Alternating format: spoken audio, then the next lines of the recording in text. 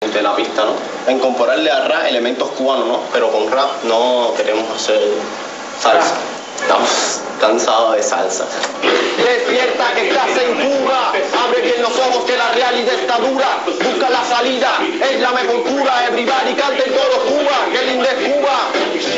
Andar La Habana, Ese es mi trabajo diariamente en la semana. Yo soy el nativo, lunático, maniático, fanático a la chuma. no existe duda camarada, mi escopeta preparada, por ahí se acerca una, enseñándole La Habana a mi chica italiana, como siempre tropezamos con la policía cubana. Buenas tardes ciudadanos, su carnet de identidad, hacia dónde se dirige el tono de agresividad. Yo que ya no tengo nervios, soy pro en se le eché como el maestro historiador de la ciudad. Vamos a caminar, se está poniendo el sol.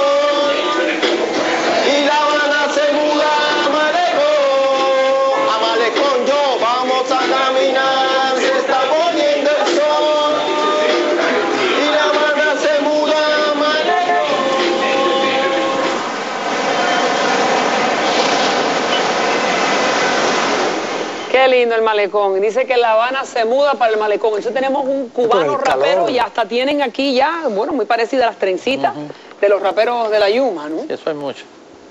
Y, y el malecón sigue siendo el termómetro de la ciudad. O sea, a donde único se puede ir gratis, a donde único tú puedes estar, tener una vista maravillosa, un fresco exquisito.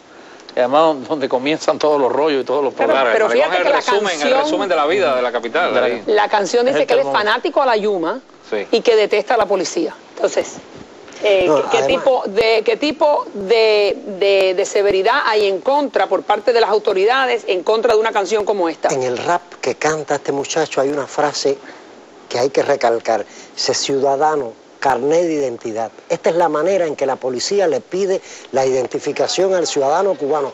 Pero el único momento en que un cubano es ciudadano es cuando le piden el carnet de identidad. Todo el resto del tiempo son compañeros. O sea, en Cuba no existe la ciudadanía como tal, no existe el ciudadano, la categoría de ciudadano eh, con derechos para elegir, para votar, para decidir su futuro. Ese no existe, existe el compañero. El único momento en que te llaman ciudadano es cuando te van a reprimir.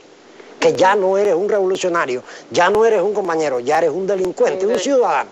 En potencia, un delincu- Ahora, y Eh, este y tipo... eso es lo más interesante que dice el muchacho en el rap, cuando el policía le pide el carnet de identidad. ¿Y cuánta represión hay para muchachos como él? Bueno, No, millones. ahí te puedo decir que hay- ha habido un cambio en los últimos años. El rap empezó siendo una música perseguida, un lenguaje contrarrevolucionario como tal.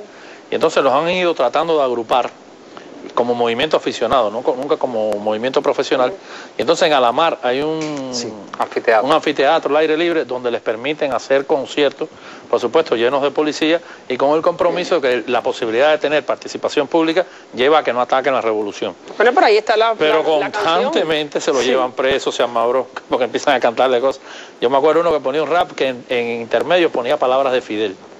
Y entonces la gente empezaba a gritar, no se sabe si de alegría, todo el mundo sabía por qué gritaba. Entonces se lo llevaron Bobby, preso. a que me todos. No, y, el 30 rap, y el rap como es una, una, una expresión, o sea, un medio de expresión que es tan eh, accesible, porque hay muchos que llegan a cantar rap que no hubiesen podido cantar eh, otro tipo, otro género, de, Sí. otro género musical, eh, pues por ahí eh, se, se está viendo un tipo de, de- de expresión en contra de la, de la situación que está ocurriendo en Cuba, tan sencillo como eso, y eso viene de la juventud. Es igual el rock and roll, el rock. Tiene el patio de María también, que sucedía lo mismo. Te dejaban cantar y en el programa nativo. Y está, mira, y ahí, ahí estás. Exactamente. Veo que ya te cortaste el pelo, pero bueno, me vas a decir ahora cuál es nosotros Luis Gras. Ustedes lo conocen, uno de los cubanos que ha demostrado mayor inventiva e ingenio, porque gracias. es el famoso camionauta que ahora acaban de terminar nuevamente una, una. Ahí está, ahí está este camión convertido en bote. Ese es el nuevo que se hizo ahora. Y ahora me vas, me vas a explicar a lo largo del programa cómo es que ustedes han podido hacer una réplica del original. Vamos entonces a comenzar con el primer fragmento de este documental llamado Soñando una Cuba Nueva. Todos soñamos eso. Veamos entonces el primero y lo vamos a discutir. Veamos.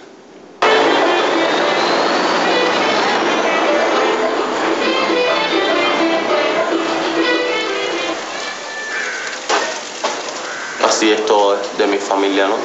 Todos los que vienen aquí son familia. Mis hermanas, mi mamá, mi abuela, mi tía, mi tío, así. Los demás familias, New York.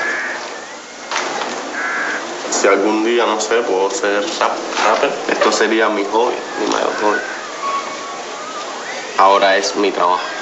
No puedes vender cosas que no sean artesanales. Eso es muy vendible aquí. African man. Si tengo mucha necesidad, en un día posiblemente a, a terminar. Creo que con 5 dólares para mí son suficientes. ¿No le interesa comprarle? ¿Eh? Si lo quisieras comprar, ¿cuánto me dieras por eso? ¿Quiere comprarlo? por 15 cañas yo vendo un brazo. No podemos vender nada porque el tiempo está malo, no hay turismo. No hay mucho turismo hoy, un día hoy tan gris. Look the sky. Pedro, este es tu amigo Juan. Es mi amigo Juan. Háblame un poquitico de él. Bueno, nosotros... ¿Dónde nos- vive? Nosotros, ahora en este momento, él está viviendo en Cuba. eh, él es un... ¿Cómo se llama? Un, un amigo muy mío eh, de, de hace, de hace años. Lo, nos conocemos mucho y... Bueno, hemos compartido, como ven en el video, hemos hecho cosas juntas.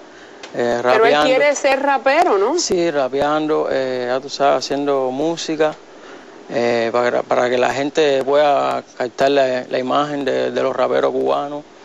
Y ya. Pero bueno, no creo que, que puedas rapear mucho porque tiene que vender Tenemos imágenes que, de sí, para, para poder cantidades, sí, para poder grabar, hacer grabaciones, hay que caminar mucho, tú sabes, haciendo cosas de, de barro, de tranquilo.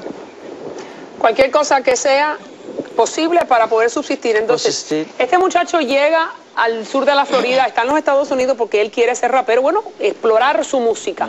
Este otro también lo quiere hacer, pero lo que tiene es que ir a vender ahí a la plaza al turista que le compre un barro hecho sobre una artesanía local. Entonces, eh, específicamente se puede decir que el gobierno está controlando a estos trabajadores independientes grandemente o ya hay un poquito más de, de soltura. Eso que le está haciendo es un delito. Eso que le está haciendo de vender una figura sin licencia de artesano o algo por el estilo es un delito. Y además lo estamos viendo en, en la zona donde está autorizado vender solo los artesanos para turistas. O sea, esas personas pagan un impuesto extremadamente alto.